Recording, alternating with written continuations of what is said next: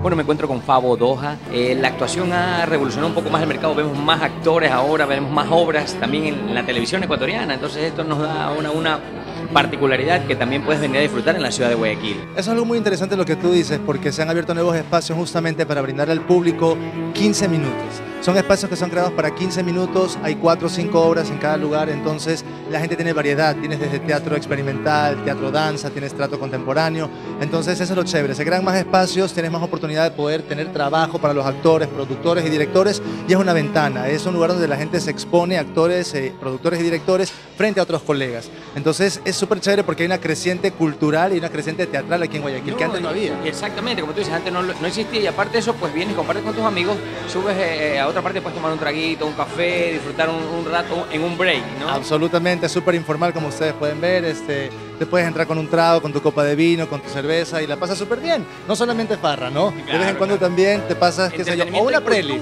claro, o una preli acá.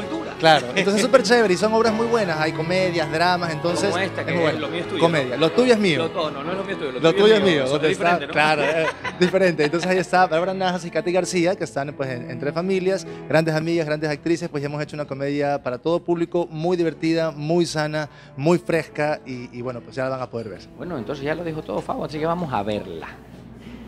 No te soporto. De verdad, en estos tiempos no se puede confiar en nadie. Terrible. No, no, no puedo. No, yo solo estoy jugando juego que tú, ¿no te gusta?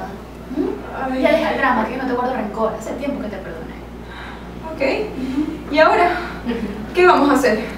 Seguir viviendo como estábamos y dejar el melodrama, ¿ya?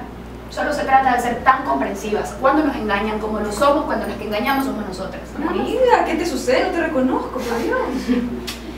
Yo creo que tú me estás malinterpretando. No te equivoques, mi amor. Yo amo a mi marido y al tuyo, pero de manera diferente.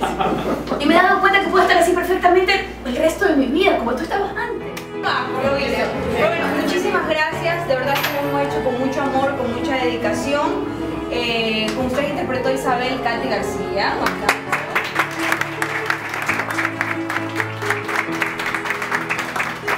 Carmencita, Bárbara